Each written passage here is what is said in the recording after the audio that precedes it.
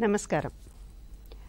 ఈరోజు పూర్వ ప్రాథమిక విద్య డిజిటల్ కార్యక్రమానికి హాజరైన వారందరికీ కూడా గుడ్ మార్నింగ్. పిల్లలు గుడ్ మార్నింగ్.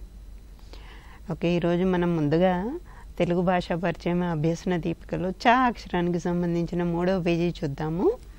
సరే. నాలుగవ అభ్యసన చూద్దాము మూడవ పేజీ. క్రింది చిత్రాన్ని గుర్తింపచేసి అక్షర ఆకారాన్ని గుర్తింప చేయండి ఇచ్చిన పదాలలో చా అక్షరాన్ని గుర్తింపచేసి కింద గీత గీయించండి. పిల్లలు చూద్దామా? ఇక్కడ చిత్రాలన్నీ మీరు గుర్తించి చకచక చెప్పాలి. చెప్తారా? ఇదేంటి మరి? ఆవు. కింద కూడా ఆవు అని రాసింది. మరి ఇందులో ఇక్కడ చూడండి. చ. చ. చ అక్షరం మరి ఈ ఆవు ఈ అక్షరాలలో చా ఉందా పిల్లలు? లేదు కదా? సరే ఇక్కడ చూడండి ఇదేంటి? చక్రం. ఇక్కడ కింద చక్రం రాసింది.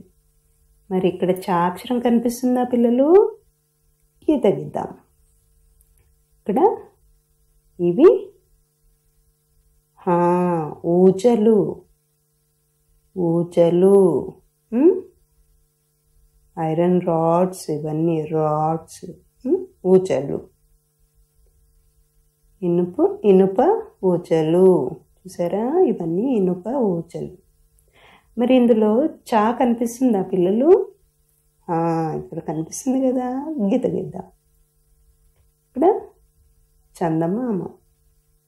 మరి ఇక్కడ చా కనిపిస్తుందా వెరీ గుడ్ ఇక్కడ కనిపిస్తుంది. ఇక్కడ చక్కెర. మరి చా కనిపిస్తుందా చక్కెరలో? గీత గీత ఇక్కడ చెంచా.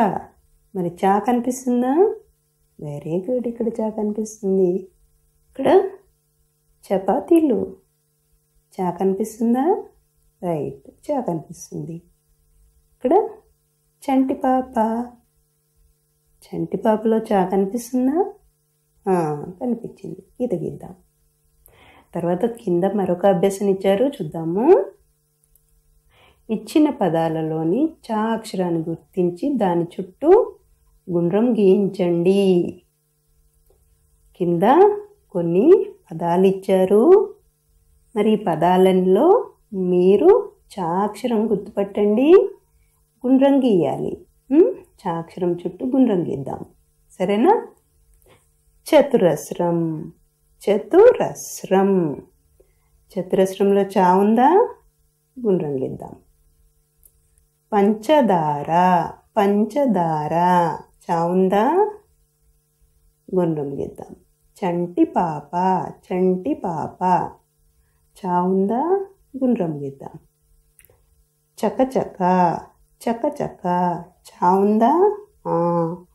ఇక్కడ రెండు చోట్ల చా ఉంది కదా గుండ్రం. చట్రం చట్రం చా ఉందా? ఉన్నది. గుండ్రం గీద్దాం చల్ల చల్ల చా కనిపిస్తుంది గుండ్రం. చందమామ చందమామ మరి చా కనిపిస్తుందా? ఉన్నది. గుండ్రం చక్రం చక్రం చా ఉందా గుండ్రం. చెంచా చెంచా చా ఉందా రైట్. గుండ్రం ఇద్దాం చదరం చదరం చా ఉందా గుండ్రం.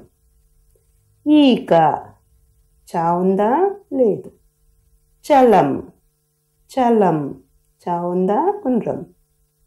చమురు చమురు చ ఉందా గుండ్రం. ఒంటే ఒంటే. చలి చలి చా ఉంది కదా గుండ్రం. చందనం చందనం చా ఉందా గుండ్రం. చదును చదును చా ఉంది కదా గుండ్రం. చవక చవక చా ఉందా గుండ్రం. ఊచ ఊచ చా ఉంది. చదువు చదువు చా ఉంది. కింద మరొక అభ్యసన ఇచ్చారు చూద్దాం మరి. ఆరవ అభ్యసన చ చ జత చేయండి. మంచం చిత్రంలో చ అక్షరాలను జత చేయించండి. పిల్లలు కనిపిస్తుందా ఇది? ఏంటి? మంచం. మరి ఇందులో చ అక్షరాలకి మనము జత చేద్దాము. చా అక్షరాలని జత చేద్దాం చా చా. గీత గీద్దాం. జత చేద్దాం. చా చా. గీత గీద్దాం. ఇక్కడ చా ఉంది ఇక్కడ చా ఉంది కదా గీత. ఇక్కడ చా ఇక్కడ ఒక చా ఉంది గీత గీద్దాం. ఈ విధంగా ఈ అభ్యసన పత్రం చేయించాలి. ఓకే. ఇది మనకి తెలుగు భాషా పరిచయం అభ్యసన దీపికలో చా అక్షరానికి సంబంధించిన మూడవ పేజీ. ఎలా చేయించాలో చూశారు కదా అంగన్వాడీ టీచర్స్. ముఖ్యంగా మీరు ఎలా చేయించాలి అనేది ఇప్పుడు ముఖ్యమైంది. సో ఇది బాగా నేర్చుకోవాలి మీరు. అభ్యసన దీపికలో అభ్యసన పత్రాలన్నీ ఎలా చేయించాలనేది బాగా నేర్చుకోవాలి. నెక్స్ట్ మనము కాన్వర్సేషన్ అంటే సంభాషణ అంశంలోకి వెళ్దాము. పనులు సంబంధించిన అంశం నిన్న మాట్లాడుకున్నాం కదా. మరి ఆ పనుల గురించి మళ్ళీ ఈరోజు మనకి కరుణ వచ్చారు. స్టూడియోలో ఉన్నారు. తను మీకు సంభాషిస్తారు పనుల గురించి. గుడ్ మార్నింగ్ పిల్లలు. ఈరోజు మళ్ళీ వచ్చేసాను. మనం పండ్ల గురించి తెలుసుకుందాం. నేను ఏమేమి తెలుసుకున్నాము గుర్తుందా? మళ్ళీ ఒక్కసారి రికాప్ చేసుకుందామా? పళ్ళు అనేవి మొక్కలకి ఉండేటు మొక్కలకి కాసేటువంటి ఆహార పదార్థాలు. అవి డైరెక్ట్గా తినేయొచ్చు. వండుకోని అవసరం లేదు. తోటల్లోంచి తెంపి మనకి బుట్టలతోటి బండ్ల మీద పండ్ల షాప్లలో మనకి అద- లభ్యమవుతాయి. అక్కడి నుంచి మనం కొనుక్కుంటాము. మనకి కాలాల్లో కూడా ఏమేం కాలంలో ఎలాంటి పళ్ళు దొరుకుతాయి అన్నది కూడా మళ్ళీ మనం ఒక్కసారి గుర్తు చేసుకుందాం. వేసవి కాలంలో మామిడి పండ్లు తర్వాత వాటర్ మిలన్ తర్వాత పుచ్చకాయ ఇలాంటివన్నీ కూడా దొరుకుతాయని చెప్పుకున్నాము. తర్వాత వర్షాకాలంలో చూసుకుంటే ఏమేమి దొరుకుతాయి అనుకున్నాము? పోమ్ గ్రనేట్ అంటే దానిమ్మ పండు అల్లనేరేడు పండు యాపిల్ పండు విరివిగా ఉంటుంది. అరటి పండు ప్రతి సీజన్లో దొరుకుతుందని చెప్పుకున్నాము. ఇలా నేను చెప్తుంటే మీరు కూడా చెప్పేయాలి ఆ కాలంలో దొరికేటువంటి పండ్ల గురించి. తర్వాత మూడవది వచ్చేసి శీతాకాలం లేదా చలికాలం. ఇప్పుడు అన్నమాట మనం ఉన్నటువంటి కాలంలో ఎక్కువగా లభించేవి ఏమేమి మనం చెప్పుకున్నాము? మనం ఎక్కువగా లభించే పండ్లు ద్రాక్ష పండ్లు రేగు పండ్లు అల్లనేరేడు పళ్ళు సీతాఫలము బత్తాయ జామకాయ సపోటా ఇలాంటివన్నీ కూడా దొరుకుతాయని చెప్పుకున్నాం కదా? గుర్తొచ్చేసింది కదా మీ అందరికీ? వెరీ గుడ్ ఈరోజు ఏంటి అని అంటే పళ్ళ వల్ల మనకు ఉపయోగాలు ఏంటి అసలు పండ్లు ఎందుకు తినాలి? మీలో చాలామంది పిల్లలు పండ్లు తింటారా? వెరీ గుడ్ తినే వాళ్ళకి వెరీ గుడ్ తినని వాళ్ళు? తినాలి. ఎందుకు తినాలి పండ్లు? పండ్లు ఎందుకు తినాలి అంటే పండ్ల ద్వారా మనకి కావలసినంత పోషకాలు లభిస్తాయి. పోషకాలు అంటే ఏంటి? పళ్ళల్లో మనకి ఏదైనా జ్వరం వచ్చినప్పుడు జబ్బు చేసినప్పుడు జలుబు లాంటివి వచ్చినప్పుడు మనము పోరాడాలి కదా? అది తగ్గిపోవడానికి? ఆ పోరాడానికి కావలసినటువంటి బలాన్ని ఇచ్చేటువంటివే మన పళ్ళల్లో లభ్యమయ్యేటువంటి పోషకాలు. కాబట్టి మనలో రోగనిరోధక శక్తి పెరగడానికి చాలా ముఖ్యమైనటువంటిది పళ్ళ ద్వారా లభించేటువంటి పోషకాలు. దాంతోపాటు బాగా ఆడుకొని ఆడుకొని అలసిపోయి ఇంటికి వచ్చేసి అమ్మ నాకు ఆకలి అవుతుంది అర్జెంటుగా ఏదైనా పెట్టు అన్నామనుకో అమ్మ చక్కగా ఒక అరటిపండు తీసి మీకు ఇచ్చేస్తే తినంగానే వెంటనే బలం వచ్చేస్తుంది. సపోటా అరటిపండు లాంటివి తెలుసా? అంటే మనకు ఆరోగ్యానికి ఆరోగ్యము వస్తుంది బలము వస్తుంది రోగ నిరోధక శక్తి మనం ఫైటింగ్ చేయొచ్చు జబ్బులతోటి చక్కగా. మన బాడీ శరీరము ఫైటింగ్ చేస్తుంది. దాన్ని రోగ నిరోధక శక్తి అంటాము. ఆ ని రోగ నిరోధక శక్తి రావాలనంటే కూడా మనకి పండ్లు అవసరము. ఒకవేళ మనం రోజు పళ్ళు తిన్నప్పటికీ జబ్బు చేసింది అనుకోండి అది తొందరగా తగ్గించుకోవడానికి కూడా మనం తినేటువంటి పండ్లు చాలా ఉపయోగపడతాయి. వీటన్నిటితో పాటు పండ్లలో మనకు ఎక్కువగా పీచు పదార్థం ఉంటుంది. ఉదాహరణకి బత్తాయి కానీ జామ పండు కానీ ఇవి తిన్నప్పుడు ఏమవుతుంది? అది పీచు పదార్థం లాగా ఉండి మనకి మోషన్ ఫ్రీగా అవ్వడానికి అంటే మనకి లెట్రిన్కి ఫ్రీగా సాఫీగా జరగడానికి ఉపయోగపడతాయి. కాబట్టి మనం పళ్ళు తప్పనిసరిగా తినాలన్నమాట. కొన్ని పళ్ళుని మనం జ్యూస్ చేసుకొని తాగుతాం కదా ఎందుకు?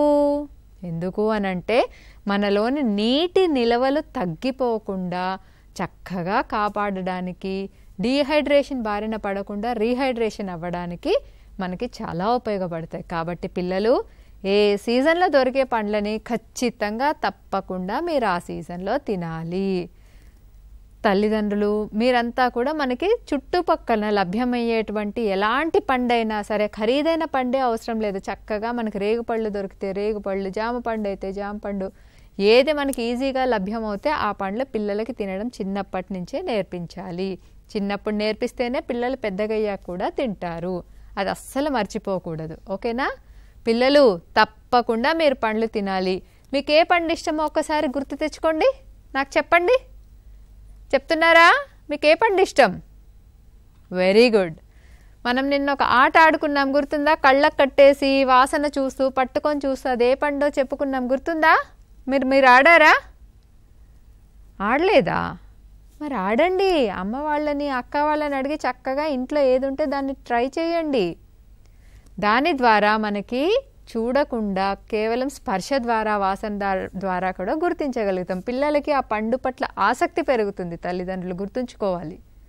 సరే ఇదన్నమాట మనం పళ్ళ గురించి తెచ్చుకోండి నిన్నటిదాకా మనం పిల్లలు ఏం తెలుసుకోవాలి ఎలా నేర్పించాలి అనేది టీచర్లకి తల్లిదండ్రులకి పాఠమే కాకుండా పిల్లలు కూడా ఆసక్తిగా నేర్చుకునే అంశం. ఈరోజు ఏం చేద్దామంటే మీరంతా కూడా కృత్యాల ద్వారా మనము పిల్లలకి ఎలా ఆడించాలి? ఒక్కసారి చూద్దామా?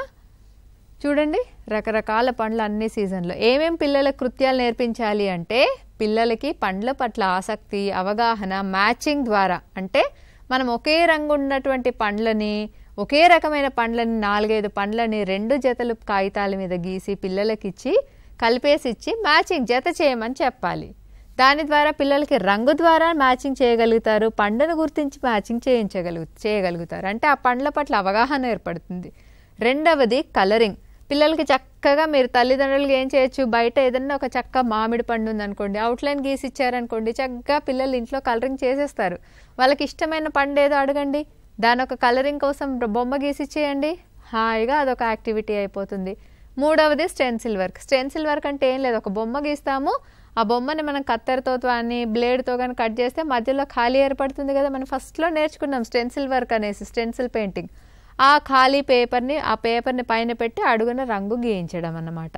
తర్వాత ప్రాక్టికల్ ఎక్స్పీరియన్సెస్ వాళ్ళని మన ఇంటి దగ్గరికి ఎవరైనా పండ్ల వాళ్ళు తీసుకొస్తే చక్కగా దూరంగా మాస్క్ పెట్టుకొని నుంచొని గమనించడము కూరగాయల మార్కెట్కి వెళ్ళినప్పుడు పక్కన ఏదైనా పండ్లు ఉంటే కూడా అవన్నీ గమనించడం ద్వారా చేయించవచ్చు పిల్లలకి చూపించవచ్చు. చివరగా పొడుపు కథల ద్వారా కూడా పిల్లలకి మనం పండ్ల గురించి చెప్పొచ్చు. అందులో మనకు కనిపించే పిల్ పండ్లే పిల్లలకి తెలిసిన పండ్ల గురించి మీరు సొంత వాక్యాల చక్కటి పొడుపు కథలు చేయొచ్చు. ఓకేనా? సరే ఇప్పుడు నెక్స్ట్ చూద్దాం. ఏంటి? ఫస్ట్గా ఇదొకటి మనం బయట ఆకారాలు గీసి పిల్లలకి రంగు చే రంగు నింపమనేసి ఇచ్చేయాలి. అంటే ఒక మామిడి పండు ఇష్టం అనుకోండి ఇలా చక్కగా బొమ్మ గీసేసి పిల్లవాడికి ఒక కాగితము ఆ కలర్ ఏ కలర్ అడిగేసి ఇచ్చేసేసామనుకోండి మామిడి పండు ఏ రంగు ఉంటుంది అంటే రంగు తెలిసిపోతుంది పండును గుర్తించగలుగుతాడు. అలా అది చేసేసుకుంటాడు. చూడండి ఇక్కడ ఎన్ని రకాలుగా ఇచ్చామో మన పండ్లు. ఎంత ఈజీగా డ్రా చేసుకోవచ్చో ఇది మామిడి పండు తర్వాత ద్రాక్ష పండ్లు. చక్కగా గుత్తులు గుత్తులుగా గీసేసి ఇస్తే పిల్లలు హ్యాపీగా కలర్ నింపుకుంటారు. అసలు దాన్ని చూసి వాళ్ళు కూడా పక్కన సొంతంగా గీసుకోవడానికి కూడా ప్రయత్నం చేస్తారు. దాని నుంచి ఏంటంటే ఇమిటేషన్ ఒకటి కాగ్నేటివ్ డెవలప్మెంట్ ఇలాంటివన్నీ కూడా పిల్లలకి పెరుగుతాయన్నమాట. తర్వాత నెక్స్ట్ బొమ్మ చూసుకోండి. ఇది నారింజ పండు. చక్క చక్కగా ఒక సర్కిల్ గీసేశారు. కింద దాంట్లో ఇప్పటికి పిల్లలు ఆకారాలు నేర్చుకున్నారు కాబట్టి ఒక ఇలా అర్ధచంద్రాకారం గీసి అందులో త్రిభుజాలు గీసేయడం రంగులు నింపడమే కాకుండా నెక్స్ట్ టైం పిల్లలు మీరు ఒక పండు గీయండి అనగానే ఈ పేపర్ని వాళ్ళకి మైండ్లో గుర్తుకొచ్చేసి వాళ్ళు మళ్ళీ డ్రా చేయడానికి కూడా చాలా అవకాశం ఉంటుంది. నేర్చుకోవడానికి ఇమిటేషన్ ద్వారా నేర్చుకోవడానికి కూడా చాలా చాలా ఉత్తేజితులు అవుతారన్నమాట యాపిల్ చక్కగా ఎంత సింపుల్గా గీసేసుకోవచ్చు చూడండి. ఒక కాగితం మీద పెద్ద కాగితం మీద అయితే రెండు రకాల బొమ్మలు గీసి ఇచ్చేస్తే వాళ్ళు చక్కగా కలరింగ్ చేసేసుకుంటారు. ఇలా రంగులు మనం గీసుకోమని ఇవ్వాలి ఇది అరటిపండు సో ఇలా బొమ్మలు గీసేసి ఇస్తాము. నెక్స్ట్ చూద్దామా? ఓకే అది ఈ లోపల ఇంకొక ఆట చూపిస్తాను. మనం మ్యాచింగ్ అనుకున్నాం. మనం ఫస్ట్ కలరింగ్ వేయడం ఏంటి అనేది మనం నేర్పించాం. మ్యాచింగ్ అంటే చూడండి ఇక్కడ మనము రకరకాలుగా అంటే మూడు నాలుగు రకాలుగా బొమ్మలు గీసేసి పిల్లలకి ఇవ్వాలి ఒకవేళ ఇంట్లో ఇద్దరు లేదా ముగ్గురు పిల్లలు ఉన్నారనుకోండి లేదా ఒక పిల్లలు ఉంటే తల్లిదండ్రులు కానీ ఎవరైనా కూర్చొని ఇట్లా మనం కలరింగ్ గీసేసి ఒక బొమ్మ గీసి పిల్లడికి రంగు గీయమని చెప్పేసి ఇవ్వాలి రంగులు నింపమనేసి. ఇచ్చిన తర్వాత పిల్లలకి ఇలా ఇచ్చేసి ఇద్దరు కూర్చొని ఎదురుగా అమ్మ పిల్లలు లేదా అక్క తమ్ముడు లేదా కుటుంబ సభ్యులు అందరూ ఎక్కువ మంది ఉంటే కాస్త ఎక్కువ బొమ్మలు గీసుకోవాలి. రెండు రెండు గీయాలి. ఏ బొమ్మ గీసినా కూడా ఇలా రెండు రెండు బొమ్మలు గీసేసి ఇవ్వాలన్నమాట. ఇచ్చి పిల్లల్ని జత చేయమనాలి. సో వాళ్ళు ఇక్కడ నేను చూడండి ఏమేమి బొమ్మలు ఇచ్చాను? ఇదేంటి? యాపిల్. అంటే మనకి ఇంకొక యాపిల్ ఎక్కడో ఉండే ఉంటుంది కదా. సరే ఇదేం పండు? సీతాఫలము. సో ఇంకొక సీతాఫలం ఎక్కడో ఉండి ఉంటుంది. ముగ్గురు ఉంటే మూడు సీతాఫలాలు గీసి ఉండాలి ఇద్దరు ఆడితే రెండు నలుగురు అయితే నాలుగు బొమ్మలు అన్నమాట ఇది ద్రాక్ష పండు. ముందుగా పిల్లలకి ఇచ్చేసి వాళ్ళని కలరింగ్ చేయమన్నా సరిపోతుంది? లేదు అని అనుకోండి మనమే గీసేసి కలరింగ్ చేసినా సరిపోద్ది. ఎంతమంది పిల్లలు ఉంటే ఆ బొమ్మలు అన్ని గీసేసి ఇవ్వాలి. ఈ రకంగా మనం అన్నీ కూడా కలరింగ్ చేసి చక్క కొంచెం బార్డర్ వేస్తే దాన్ని అందంగా కనిపించాక వాళ్ళని మ్యాచింగ్ చేయమనాలి జతపరచమనాలి. ఇందాక మనం చెప్పుకున్నాం కదా పిల్లల యాక్టివిటీకి జతపరచమని. సరే ఇప్పుడు ముందుగా ఇదేం బొమ్మ చూద్దాము? యాపిల్. కనిపిస్తుంది కదా మనకి? ఇదేం బొమ్మ? యాపిల్. Very good. మరి ఇలాంటిది ఇంకొక పండుని జత చేయమనంటే ఏం చేస్తారు? ఇది యాపిలా? కాదు. పోనీ ఇది యాపిలా? కాదు. ఇది యాపిలా ఎస్ వెరీ గుడ్ ఈ రకంగా రెండు యాపిల్స్ తీసుకొని దీన్ని జత చేస్తామన్నమాట. ఇంకొకటి ఇది సీతాఫలము. సీతాఫలాలు కూడా మనం ఇక్కడ ఉన్న వాటిలోంచి వెతికితే రెండు సీతాఫలాలు. ఒకవేళ ఇంట్లో నలుగురు ఉన్నారనుకోండి ఒకరు సీతాఫలం జత చేయొచ్చు ఒకరు యాపిల్ పండు జత చేయొచ్చు అలా చేయొచ్చు. ఇక్కడ ఉంది మామిడి పండు. మామిడి పండు ఉందనుకోండి ఇక్కడ ఉన్న వాటిల్లోంచి రెండు మామిడి పండ్లను తీసి జత చేశాను. సో మనం ఇలా ఒక కాగితం మీద చక్కగా పెట్టేస్తే మనకి జతపరచడం అనేది తెలిసిపోతుంది. ఏదైతే జత జతపరిచామో అవి కనిపిస్తాయి అన్నమాట. ఓకేనా? చివరిగా ద్రాక్ష పండ్లు. ఇలా చేసినే చేసినట్టు మనం ఒక కాగితం మీద అంటింప చేస్తే చక్కగా ఉంటుంది. ఇది మ్యాచింగ్ చేసే క్రియ. ఎక్కువ మంది ఉన్నప్పుడు ఏంటంటే రెండు రెండే గీయండి. ఎక్కువ గీయకపోయినా పర్లేదు. రెండు రెండు బొమ్మలే గీసేసి ఎక్కువ బొమ్మలు గీసారనుకోండి పిల్లలు మ్యాచింగ్ చేస్తారు. అంటే ఇప్పుడు మనం కలరింగ్ చేయించడం ఎలాగా నేర్పించామంటే పిల్లలకి బయట బాహ్యాకారం గీసేసి రంగులు నింపమని ఇచ్చేస్తాం. రెండవది వాళ్ళనే సొంతంగా గీసేసుకోమనండి. మూడవది వచ్చేసి మ్యాచింగ్. ఇంకొకటి స్టెన్సిల్ అనుకున్నాం కదా ఆ స్టెన్సిల్ వర్క్ ఎలాగా అనేది కూడా మీకు ఇప్పుడు చూపిస్తాను. ఇది చాలా సునాయసం అండి ఒక కాగితం తీసుకుంటాము. తీసుకొని తేలిగ్గా ఉండేటువంటి ఏదన్నా ఒక ఆకారాలు గీసాము ఇక్కడ చూసుకోండి ఇక్కడ బొమ్మలు ఏమేమి గీసామో చూడండి. ఇక్కడ ఒక యాపిల్ బనానా అరటిపండు మామిడి పండు గీసాము. దీన్ని ఏం చేస్తామంటే ఈ ఆకారాలకి బార్డర్ మీద కత్తెరతో కానీ బ్లేడ్తో కానీ కట్ చేస్తాం. మీ దగ్గర చార్ట్ పేపరు పాత పెళ్ళి పత్రికలు ఉన్నాయనుకోండి తీసుకొని మనం ఇలా ఈ ఆకారం వెంట కట్ చేసేస్తాం. కట్ చేసినప్పుడు ఏమవుతుందంటే దీంట్లోని ఆకారమే మనకి బయటికి వచ్చేస్తుంది ఉదాహరణ చూడండి కట్ చేసేసిన దాన్ని ఇలా వచ్చేస్తుంది. ఈ దీన్ని బయటకి తీసినప్పుడు మూడు పండ్లని తీసేసినప్పుడు ఇంకోటి నేను ఆల్రెడీ తయారు చేశాను. చూడండి ఇలా కనిపిస్తుంది అన్నమాట చూడండి ఇలా కనిపిస్తుంది. ఇక్కడ ఇది యాపిల్ ఇది బనానా అరటిపండు ఓకే? తర్వాత ఇది మామిడి పండు. ఈ రకంగా మనము స్టెన్సిల్ చేసేసి పెడతాము దీన్ని చేయడం చేసేసి పిల్లలకి అడుగున ఒక కాగితం ఇచ్చినట్లయితే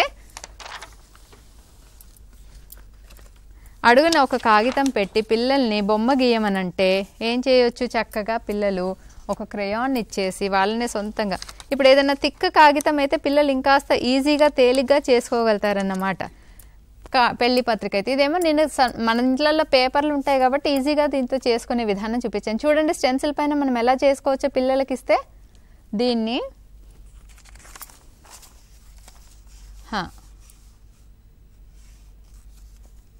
ఈ అవుట్లైన్ ఉంది కదా? ఇలా పట్టుకుంటే ఈ ఎక్కడెక్కడైతే ఖాళీ ఉందో అక్కడ ఇలా గీసేస్తే మనకి యాపిల్ బొమ్మ అయిపోతుంది. తర్వాత బనానా కాబట్టి ఈ దీంట్లోంచి మనం ఇలా గీసేసామనుకోండి ఇది ఒక బనానా అయిపోతుంది. పిల్లలకి ఇది స్వయంగా చేసేలాగా ప్రోత్సహించాలి. ఇది మామిడి పండు అవుతుంది. అంటే స్టెన్సిల్ పెట్టేసి మనం పిల్లలకి ఇస్తే వీళ్ళు ఇలా వాళ్ళంతట వాళ్ళే గీసేయగలరు అనమాట సొంతంగా ఒక యాపిల్ గీసేయగలిగారు ఒక బనానా గీసేయగలిగారు ఇది చూడండి. అరటిపండు గీసేయగలిగారు తర్వాత ఇక్కడ మామిడి పండు గీశారు. అలా గీసిన దాని మీద పిల్లల్ని రంగులు నింపమనంటే వాళ్ళే సొంతంగా గీసినంత సంతోషంగా చూడండి. ఇది స్టెన్సిల్దే అన్నమాట. యాపిల్ వచ్చేసింది ఇక్కడ అరటిపండు వచ్చింది ఇక్కడ మామిడి పండు వచ్చింది. ఈ రకంగా స్టెన్సిల్ వర్క్ చేయాలి. చాలా చాలా ఈజీగా ఉంటుంది. సో మనం ఏమేమి యాక్టివిటీస్ ఇస్తాము పిల్లలకి? మ్యాచింగ్ ఇస్తాము జతపరచడం ఇస్తాము తర్వాత స్టెన్సిల్ వర్క్ ఇస్తాము కలరింగ్ ఇస్తాము చివరిగా పొడుపు కథలు. పిల్లలు నేను ఒక పొడుపు కథ అడుగుతాను. చూస్తారా? నేను తీయగా ఉంటాను ఎండాకాలంలో వస్తాను పసుపు రంగులో ఉంటాను. ఎవరిని? నేనెవరిని? చెప్పారా? వినపడుతోంది ఎండాకాలం మీ ఇష్టమైన పండు. మామిడి పండు. వెరీ గుడ్ ఇంకొకటి అడుగుతాను. నేను పైనంతా పచ్చగా ఉంటాను. దాన్ని కట్ చేసి చూస్తే లోపల ఎర్రగా ఉంటాను. దాంతో జ్యూస్ చేసుకోవచ్చు. త్రికోణంలో కట్ చేసుకొని తినవచ్చు ఎవరిని? బరువుగా ఉంటాను. ఎవరిని నేను? పుచ్చపండు. వెరీ గుడ్ ఓకే మూడవది. నేను గుత్తులు గుత్తులుగా గుండ్రం గుండ్రంగా ఉంటాను. అన్ని గుత్తులు కలిపితే నేనవుతాను. ఎవరిని? ద్రాక్ష పండు వెరీ గుడ్ చిల్డ్రన్ ఈ రకంగా మీ అంతటి మీరు ఒక పండుని తీసుకొని దాన్ని డిస్క్రైబ్ చేసుకుంటూ రెండు మూడు సెంటెన్సెస్లో మీరు ఇష్టం వచ్చింది చెప్పండి. అలా అడిగించిన తర్వాత పిల్లవాడిని మీరు అడగండి నన్ను అని అడగండి పిల్లల్ని పండ్లను రెండు మూడు ఎదురుగా పెట్టి నాన్న నువ్వు ఇప్పుడు నన్ను ప్రశ్న అడుగు అని అడుగు. ఎంత బాగా వారి సొంత వాక్యాల్లో చెప్తారో? సో ఒక దాని మీద అవగాహన ఏర్పడిన తర్వాత అంత చక్కగా చేయించవచ్చు అనమాట సో పిల్లలు మీరంతా కూడా ఖచ్చితంగా ప్రతిరోజు ఒక పండు తినవలసిందే. పండ్లల్లో ఉండే అందం ఏంటంటే ఇంద్రధనస్సు రంగులన్నీ ఉన్నటువంటి పండ్లు ఉంటాయి ప్రతి పండు ప్రత్యేకమే. అది ప్రతి దాంట్లో కూడా మనకు పోషకాలు ఉంటాయి రోగ నిరోధక శక్తి ఉంటుంది. జబ్బు చేసినా తొందర తగ్గడానికి అవకాశం ఉంటుంది. ఈ రోజు నుంచి మనం ఖచ్చితంగా పండ్లు తిందామా? వెరీ గుడ్ ఖచ్చితంగా తిందాం. మరొకసారి మీరు ఎలా తింటున్నారో తెలుసుకుంటూ మరో కొత్త అంశంతో మీ ముందుకు వస్తాను ఓకే సో ఇది సంభాషణ పనుల గురించి. అంటే మనం సంభాషించేటప్పుడు మీకు సిలబస్లో పుస్తకంలో ఇవ్వడం జరిగింది. ఏ రోజున ఏ సంభాషణ చేయాలి పనులు అంశమే. కానీ పనులకు సంబంధించింది ఎంతవరకు మాట్లాడాలి అనేది కూడా చెప్పడం జరిగింది. సో ఆ పద్ధతి ప్రకారంగానే పిల్లలతో సంభాషించేటప్పుడు అంత విపులంగా వివరంగా ఇట్లాగా యాక్టివిటీస్ చేయిస్తూ పిల్లల చేత ఆ సంభాషణ అనేది జరిపించాలి. సో అంటే అంగన్వాడీ సెంటర్లో చేసేటప్పుడు ఇన్ని రోజులు ఎందుకు పెట్టుకున్నాం అనేది కూడా మీరంతా అర్థం చేసుకోవాలి. అంగన్వాడీ టీచర్స్ ముఖ్యంగా. అంటే పిల్లలకు ఇవన్నీ కూడా ఈ అంశాలన్నీ కూడా పిల్లలకు నేర్పించాలి. పనులు అని చెప్పినప్పుడు రంగు చెప్పాలి వాసన చెప్పాలి రుచి అన్నీ కూడా చెప్పుకుంటూ వెళ్ళాల్సి ఉంటుంది. ఓకేనా? సరే నెక్స్ట్ మరొక అంశంలోకి వెళ్దాము. ఇంగ్లీష్ భాషా పరిచయము. ఇంగ్లీష్ భాషా పరిచయంలో మనము ఎల్ అక్షరానికి సంబంధించిందా ఎల్ అక్షరానికి సంబంధించిన షేప్ ఇంట్రొడక్షన్ చేసుకోవడం జరిగింది కదా. ఎల్ అక్షరం చూశారు కదా మరి? క్యాపిటల్ ఎల్ స్మాల్ ఎల్ చూసారా పిల్లలు? మరి అన్నీ మిమ్మల్ని నిన్న ఏం చెప్పాము? మీరు మొత్తము ఇంట్లో వార్తాపత్రికలు ఎక్కడైతే పుస్తకాలు ఉన్నాయో అందులో ఎల్ ఉందా లేదా చూడమని చెప్పాం కదా? క్యాపిటల్ ఎల్ స్మాల్ ఎల్ గుర్తుపట్టారా? ఓకే. సరే. దానికి సంబంధించిన ఆకారానికి సంబంధించిన కొన్ని ఆటలు కూడా మనము ఇప్పుడు చూద్దాము. అయితే ముందుగా నానేస్తాం ఆట చూద్దాము. ఇక్కడ అంగన్వాడీ సెంటర్లో చేస్తూ ఉన్నారు సదాశివ్పేట్ ప్రాజెక్టులో అంగన్వాడీ సెంటర్లో ఉన్నాయి కొందరి దగ్గర చి- ఆ, అక్షరాల కార్డ్స్ని సరేనా? నేను స్టాప్ అన్నప్పుడు మీరు ఎవరిని వేస్తా వాళ్ళ దగ్గరికి వెళ్ళాలి. సరేనా? I for ice cream I for ice cream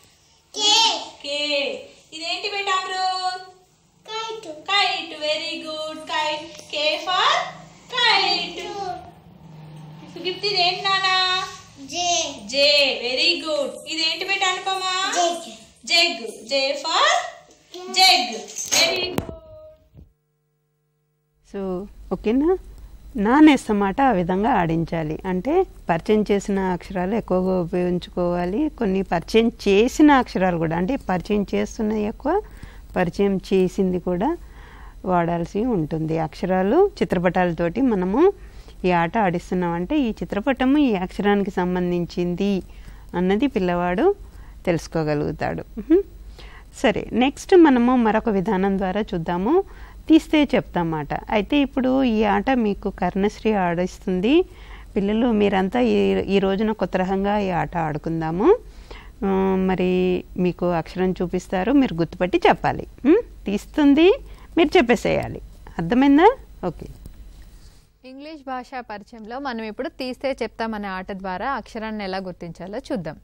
పిల్లలు మీకు ఇప్పటి వరకు ఎల్లక్షరం వరకు కూడా మనం మీకు చూపిస్తూ వచ్చాము రకరకాలుగా. టీచర్ తీస్తే పిల్లలు చెప్పాలి. అది తీస్తే చెప్తాం ఆట. ఓకేనా? టీచర్ కూర్చుంటారు లేదా అమ్మ వాళ్ళు కూర్చుంటారు అన్ని అక్షరాల కార్డులు తయారు చేసుకుంటారు. మీ ఎదురుగా లేదా చుట్టూతా మీ చుట్టూతా పిల్లల్ని కూర్చోపెట్టుకుంటే పిల్లలు ఏమంటారు? తీస్తే చెప్తాం తీస్తే చెప్తాం అంటూ అంటారు. అంటే టీచర్ ఏమో తీస్తారు పిల్లలు చెప్తారు. ఓకేనా? ఓకే పిల్లలు రెడీయా? తీస్తే చెప్తా మాటకి నేను తీస్తాను అక్షరం కార్డు మీరు టకీమని చెప్పేయాలి. ఓకేనా? మీకు తెలిసినే అడుగుతాను.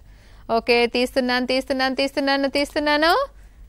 తీసేశాను. పిల్లలు ఇదేం అక్షరం? H H very good clap your hands clap your hands తీస్తే చెప్తాం తీస్తే చెప్తాం తీస్తే చెప్తాం తీస్తున్నాను తీస్తున్నాను తీస్తున్నాను తీసాను ఏంటిది? వెరీ గుడ్ ఎల్ ఎల్ అక్షరం. Very good clap your hand children okay నేను మళ్ళీ తీస్తే చెప్తాం తీస్తే చెప్తాం తీస్తే చెప్తాం. తీస్తున్నాను తీస్తున్నాను తీస్తున్నాను. ఇదిగో ఏ అక్షరం ఇది? కనిపిస్తుందా?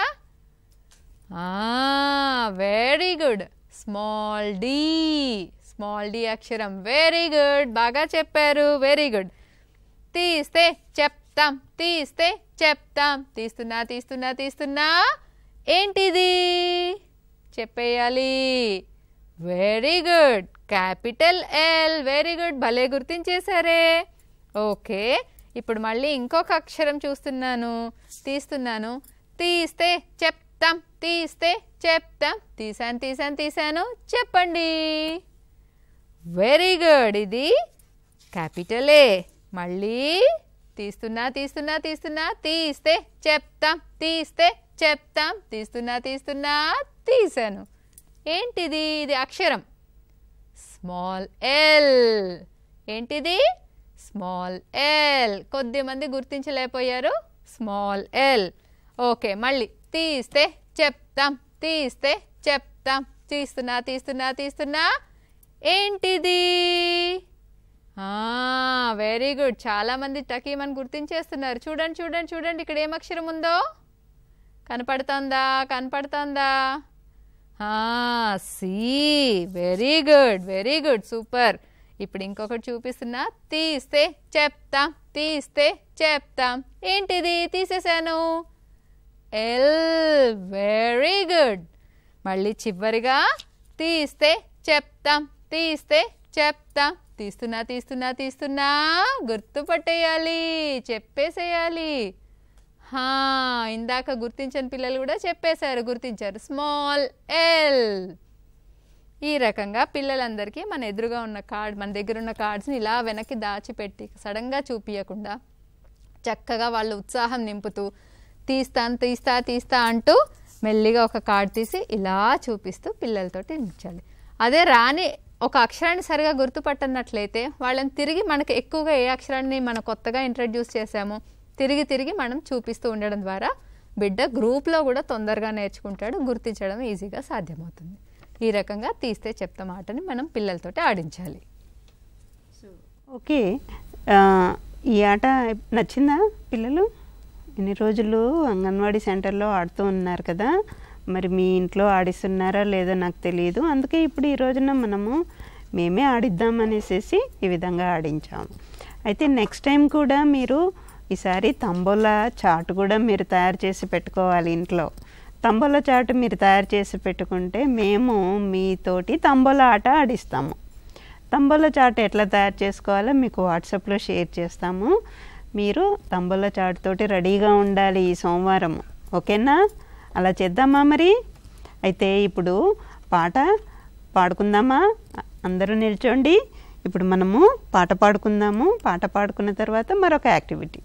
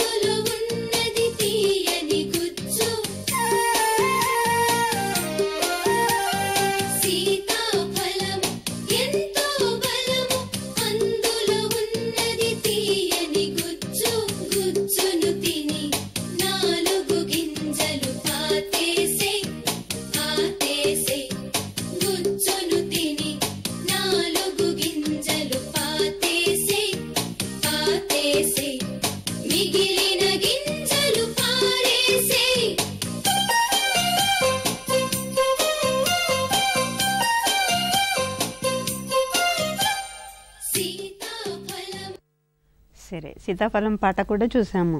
మరి ఈ రోజున పండ్ల అంశము చూసుకున్నాము మాట్లాడుకున్నాము అలాగే సీతాఫలం కూడా పాట పాడుకున్నాం. ఓకే నెక్స్ట్ మనము మరొక అంశంలోకి పోదాము. ఏంటంటే మనము ఆర్ట్ అండ్ క్రాఫ్ట్ బుక్ చూస్తూ ఉన్నాం కదా. కొద్ది రోజుల నుంచి ఆర్ట్ అండ్ క్రాఫ్ట్ బుక్లో కొన్ని పేజీలు చేయడం జరుగుతూ ఉంది. ఇప్పుడు ఆ పుస్తకంలో ఒక పేజీ ఇప్పుడు మనకి కర్ణశ్రీ చెప్తారు చూపిస్తున్నారు. చూడండి మరి. చెయ్యాలి మరి. పిల్లలు అమ్మా నాన్నలు కూడా చెప్తున్నాను మనకంటూ ఒక ఆర్ట్ అండ్ క్రాఫ్ట్ పుస్తకాన్ని మన డిపార్ట్మెంట్ వాళ్ళు ఇస్తున్నారు. చూడండి ఇక్కడ మనకి పేరు చూడండి. తంగేడు పువ్వు ఎల్కేజీ పిల్లలు కదా? అందుకని తంగేడు పువ్వు పుస్తకంలో పూర్వ ప్రాథమిక విద్యా కార్యక్రమాల్లోనే ఆర్ట్ అండ్ క్రాఫ్ట్ పుస్తకం. ఇది యాక్టివిటీ బుక్. మూడు నుంచి నాలుగు సంవత్సరాలకి. అరే మా దగ్గర ఏ పుస్తకం లేదే మరి మా పిల్లలకి ఎలా గీయించాలి అన్నది మీరు అస్సలు బెంగ పెట్టుకోవద్దు. ఇవన్నీ కూడా తేలిగ్గా ఉంటూ మనంతటా మనం పిల్లలు గీయించగలిగి గీసి ఇచ్చేలాగా ఉంటుంది. ఈరోజు మనము పేజ్ నెంబరు పదిహేనవ పేజ్లోకి వద్దాం.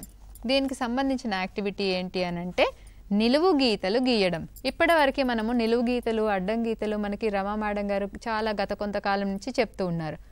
నేర్చుకొని ఉంటారు పిల్లలు దాన్ని స్వయంగా చేసుకోవడం ఎలాగా అనేది. ఆర్ట్ అండ్ క్రాఫ్ట్ అంటే కేవలం బొమ్మలు గీసేయడం రంగులు గీసేయడమే కాదు. ఇందులో ఎంతో సబ్జెక్టును కూడా పిల్లలు ఆడుతూ పాడుతూ నేర్చుకునేలాగా ఇంకాపరేట్ చేశారు. ఇక్కడ చూద్దాం నిలువు గీతలు గీయడం. ఫస్ట్గా ఇక్కడ మనం టీచర్కి సూచన ఏంటో చూద్దాం. ఏమనిచ్చారు? ముందుగా బొమ్మను బిడ్డ చేత గుర్తింప చేయాలి. ఇక్కడ పైన ఏ బొమ్మ అయితే ఇచ్చారో దాన్ని గుర్తింప చేయాలి.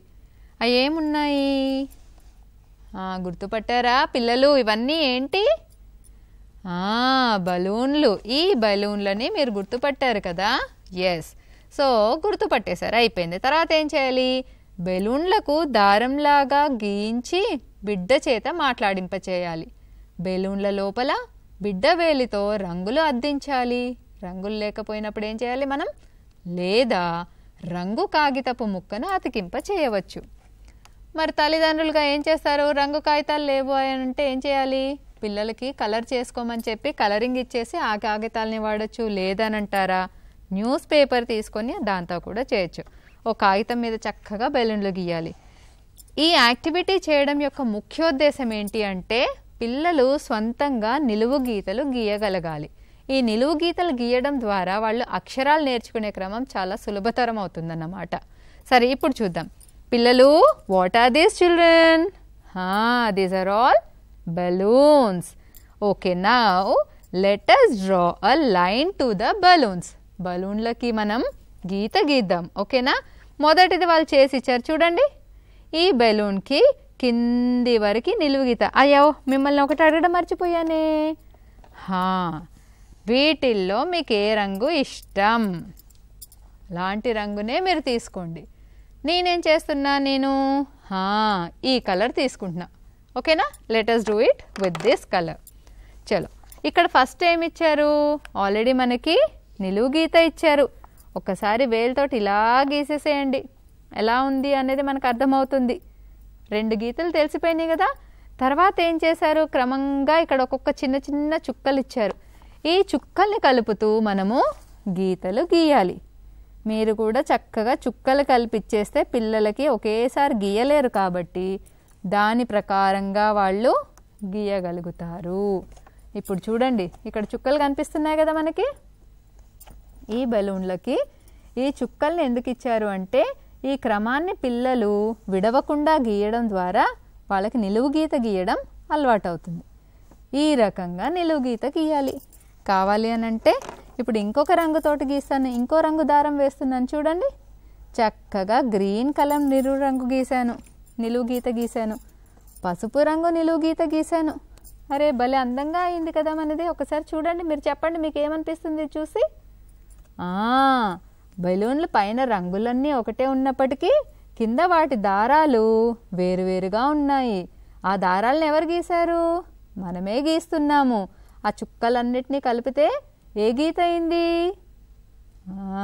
స్టాండింగ్ లైన్ లేదా నిలువు గీత అయింది. మరి ఇప్పటిదాకా మనం చుక్కలతో గీసాం కదా.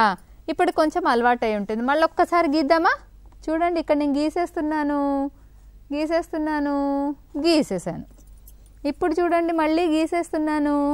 ఈ చుక్కలు నానిస్తూ గీశాను మరి ఇక్కడ చుక్కలు లేవు. ఎందుకు ఇవ్వలేదు? ఎందుకంటే మీకు ఇప్పటికే ఇక్కడే క్రమం అనేది అలవాటైంది. ఏ రకంగా? పైనుంచి కిందికి గీయాలి. ఇప్పుడు సొంతంగా చూడండి ఇది బెలూను. ఇక్కడి నుంచి మొదలుపెట్టి down down down down down down down వచ్చేసింది. అలాగే ఇక్కడ చూడండి. కిందకు కిందకు కిందకు కిందకు కిందకు. ఇంకో గీత వచ్చేసింది. తర్వాత మీకు నచ్చినటువంటి మరొక రంగు కూడా తీసుకొని గీద్దాం. మళ్ళొక్కసారి ఈ బెలూన్ నుంచి కిందకు కిందకు కిందకు కిందకు కిందకు. Standing line. నిలువు గీత నిలువు గీత నిలువు గీత నిలువు గీత. స్టాండింగ్ లైన్ వచ్చింది. అర్థమైందా? చూడండి పిల్లలు ఎంత అందంగా వచ్చిందో. ఈ నిలువు గీతలు గీసిన తర్వాత మరి పైన ఉన్న బెలూన్స్ అన్నీ కూడా చక్కగా అందంగా ఉన్నాయి. మరి దీన్ని ఏం చేద్దాము? దీన్ని కూడా మనల్ని ఏమని చెప్పారు? ఏదైనా ఒక రంగు కాగితం కానీ రంగుల అద్దె కానీ చేయమన్నారు. పిల్లలకి ఫెవిస్టిక్ కానీ గమ్ము కానీ ఇచ్చేసి చిన్న చిన్న కాగితం ముక్కల్ని వాళ్ళ చేతే చిం చింపించ చేసి చింపడం చింపడానికి ఇచ్చి వారి చేత చిన్న ముక్కలు చేపిచ్చేసి దాన్ని ఇక్కడ మనం అతికింప చేయాలి. చూసారా? ఒక బలూన్ ఇక్కడ వచ్చేసింది.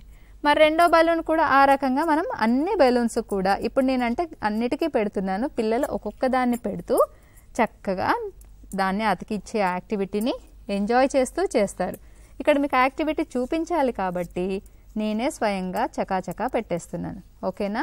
దీన్ని రాయించేటప్పుడు మటుకు మీరు గుర్తు పెట్టుకోవాల్సింది ఏంటంటే పిల్లల్ని డౌన్ డౌన్ డౌన్ అనడం కానీ లేదా కిందకు కిందకు కిందకు అనడం కానీ standing line standing line standing line అనడం కానీ నిలువు గీత నిలువు గీత నిలువు గీత అని చెప్పించడం ద్వారా వాళ్ళు ఏం గీస్తున్నారా అనేది వాళ్ళకి అర్థమవుతుంది.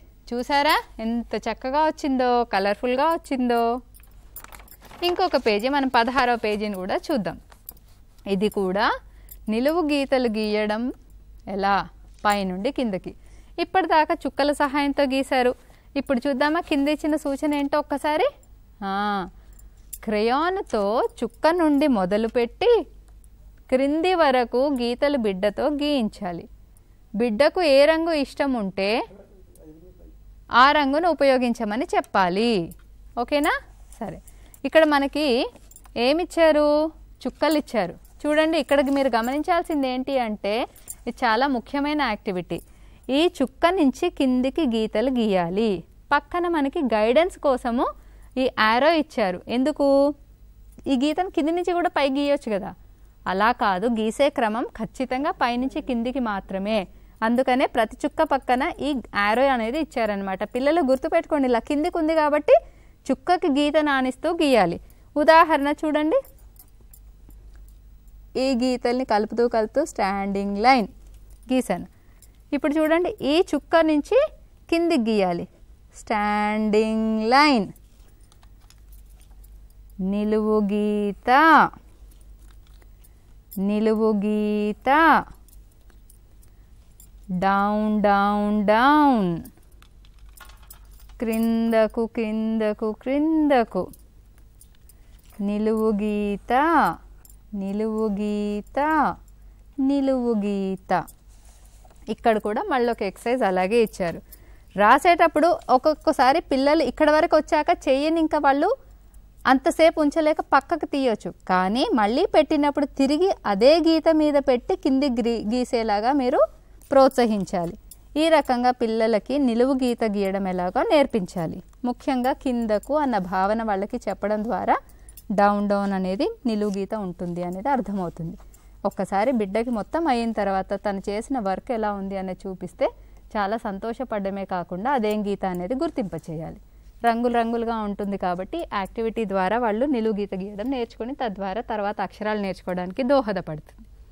ఇది యాక్టివిటీ పుస్తకం. మనము ఈ ఆర్ట్ అండ్ క్రాఫ్ట్ బుక్ వాడేటప్పుడు ముఖ్యంగా మీకు సూచనలు ఇవ్వడం జరిగింది. ఏ రోజున ఏ పేజీ వాడాలి ఇట్లాంటి అంశాలన్నీ చెప్పడం జరిగింది. సో దాని ప్రకారంగానే పిల్లల చేత పేజీల పేజీలు చూసుకుంటూ ఆ పేజీలను చేయిస్తూ ఉండాలి. మూడు సంవత్సరాల పిల్లలకు ఒకటి ఉంది నాలుగు సంవత్సరాల పిల్లలకు ఒకటి ఉంది. మనం ఇన్ని రోజుల నుంచి మూడు సంవత్సరాల పిల్లల ఆర్ట్ అండ్ క్రాఫ్ట్ బుక్నే చూస్తూ ఉన్నాం. సరే తర్వాత మనము నాలుగు సంవత్సరాల పిల్లల ఆర్ట్ అండ్ క్రాఫ్ట్ బుక్లో ఏమున్నాయో కూడా చూద్దాం తర్వాత తర్వాత. ఇప్పుడు మనము చా అక్షరానికి సంబంధించిన పాట చూద్దాము. చక నడిచారు చలాకీగా బడికి వచ్చారు. చంపా చందు చక చక చక చక నడిచారు చలాకీగా బడికి వచ్చారు. చుక్ చుక్ చుక్ చుక్ అంటూ అడరు చక్కగా చదువు చదివారు. చుక్ చుక్ చుక్ చుక్ అంటూ అడరు చక్కగా చదువు చదివారు. చక చక చక చక ఇంటికి చేరారు చపాతీలు చక్కెర పాయసం తిన్నారు. చక్కిలిగిలితో చంటి పాపను చక్కగా నవ్వించారు. మరొక అంశంలోకి వెళ్దాము. అంటే ఈ చా అక్షరం చూశారు కదా పిల్లలు? చాకు సంబంధించిన ఆటలు చూద్దాము ఇప్పుడు. తిరుగుతూ రాస్తామా? ఆట చూద్దాము. అలాగే అక్షర సూర్యుడు ఆట. ఇంత ముందుకు మనం నిన్న అక్షర సూర్యుడు ఆట చూడడం జరిగింది. అదే ఆటను మరొక విధానంలో ఇక్కడ ఆడుతూ ఉన్నారు. ఆ విధానం కూడా చూద్దాం ఇప్పుడు. తెలంగాణలో పైగడ్లో కూడా అక్షరం కార్డే ఉంది. మీ దగ్గర కూడా అక్షరం కార్డే ఉన్నది. నేను కంజీర మోగించుతూ స్టాప్ అని చెప్పగానే మీ దగ్గర ఉన్న అక్షరం కార్డుని అక్షరం కార్డు పైన పెట్టి కింది గడిలో అదే అక్షరాన్ని రాయాలి. సరేనా?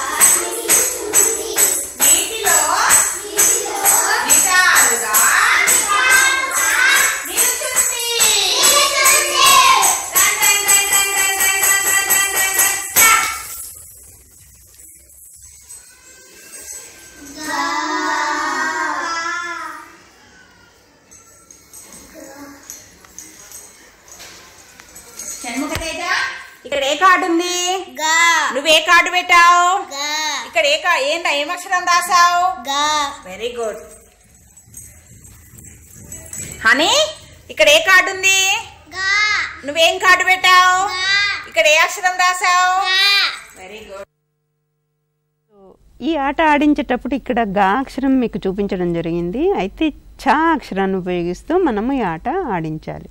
నిన్న మనము చా అక్షరానికి సంబంధించిన చిత్రపటాలు పెట్టి ఆడడం జరిగింది. ఇప్పుడు ఏం చేసాము అక్షరాలు పెట్టి ఆడించాల్సి ఉంటుంది. అంటే అక్షర సూర్యుడు ఆట రెండు రకాలుగా ఆడిస్తాము. సరే నెక్స్ట్ మనము తిరుగుతూ రాస్తాం ఆట కూడా చూద్దాం. తిరుగుతూ రాస్తాం ఆటలో ఈ అక్షరంతో చా అక్షరంతో తిరుగుతూ రాస్తాం ఆట ఆటని ఆడుకుందాం నేను మోగిస్తూ పాట పాడతాను స్టాప్ అని చెప్పగానే ఎవరైతే ఏ గడి ముందైతే నిలబడి ఉంటారో పై గడిలో ఏ అక్షరం అయితే ఉంటుందో కింది గడిలో అదే అక్షరాన్ని రాయాలి. ఇక్కడ ఏమేమి అక్షరాలు ఉన్నాయి ఒకసారి చెప్పండి?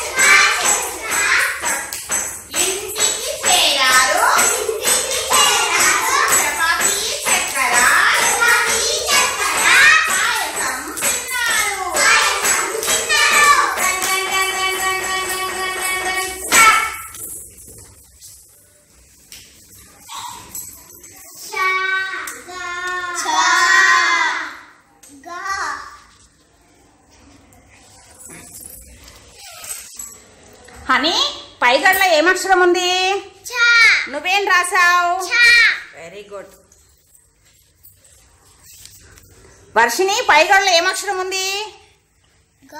నువ్వేం రాసావు వెరీ గుడ్ షణ్ముఖ తేజ పైగడ్ల ఏమక్షరం ఉంది? నువ్వేం రాసావు వెరీ గుడ్ రోహన్ పైగడ్ల ఏమక్షరం ఉంది? నువ్వేం రాసావు వెరీ గుడ్ నిక్షిత పైగడ్ల ఏమక్షరం ఉంది? నువ్వేం రాసావు చా. పిల్లలు మీరు తిరుగుతూ రాస్తా మాటని చాలా బాగా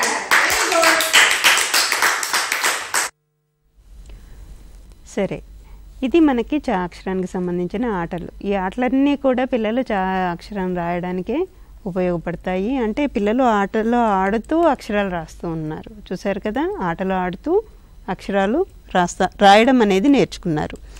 నెక్స్ట్ మనం మరొక అంశంలోకి వెళ్దాము. పూర్వగణితము. పూర్వగణితంలో మనము ముందుగా ఒక విధానం చూద్దాము. ఏడు ఏడవ విధానము ఏడు అంకె నేర్పించడానికి ఏడవ విధానము చూద్దాం. చెప్తే అంతమంది మీరు చేతులు పట్టుకొని నిలబడాలి. సరేనా పిల్లలు? అంకెల పాట పాడతాను కంజీర మోగిస్తాను. కంజీర పాట ఆపగానే నేను ఏ అంకె చెప్తే అంతమంది మీరు చేతులు పట్టుకొని నిలబడాలి. రెడీయా పిల్లలు? తిరగండి. అంకెలండి అంకెలు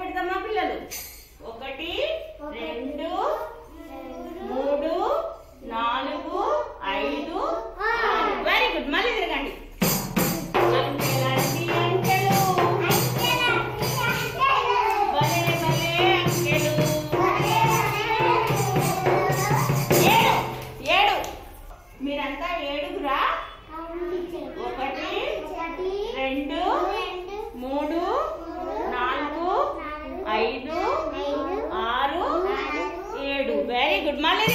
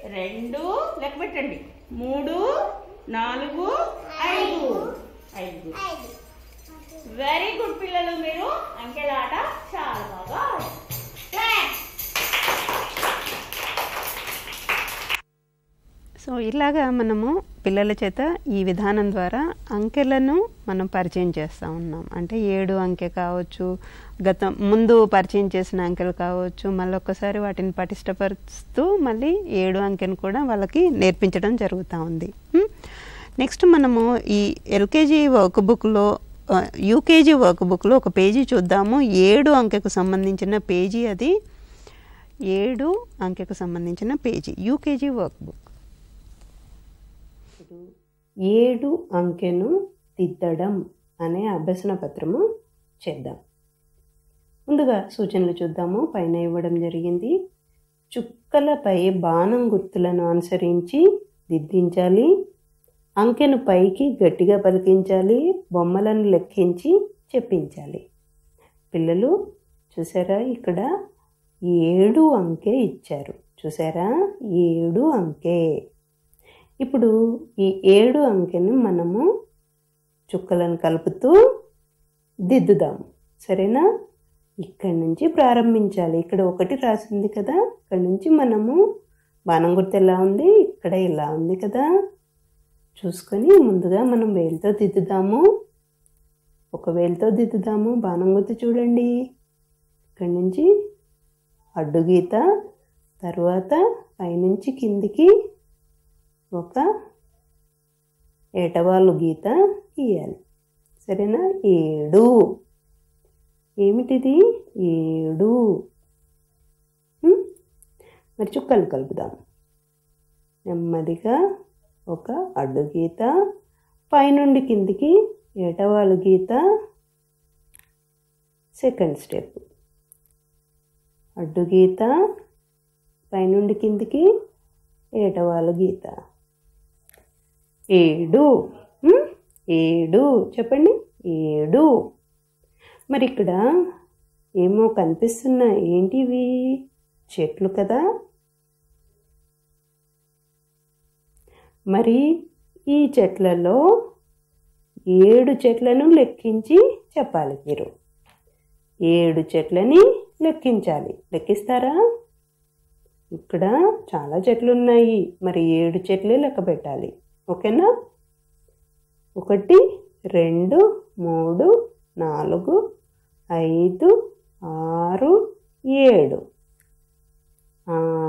బాగా చెప్పారు. కింద మరికొన్ని చిత్రాలు ఇచ్చారు. మరి వీటిని కూడా చేద్దాము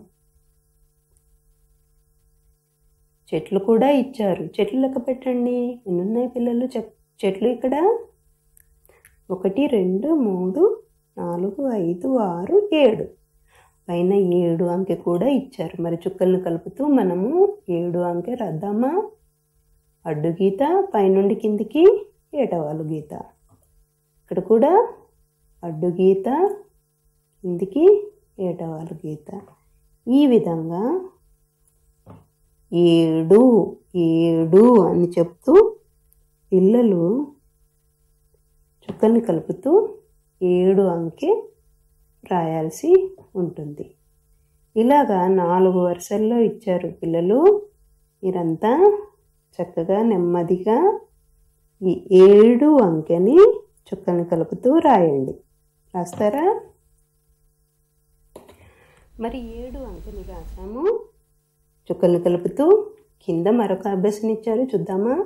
సొంతంగా ఏడు రాయాలి. పిల్లలు. ఇంతసేపు మనం చుక్కల్ని కలుపుతూ రాసాము కదా ఇక్కడ కూడా మనం మళ్ళీ చుక్కల్ని కలుపుతూ ఏడు అంకెలు రాస్తాము. రాసిన తర్వాత ఈ బాక్సులలో మీరు ఏడు అంకె రాయాలి.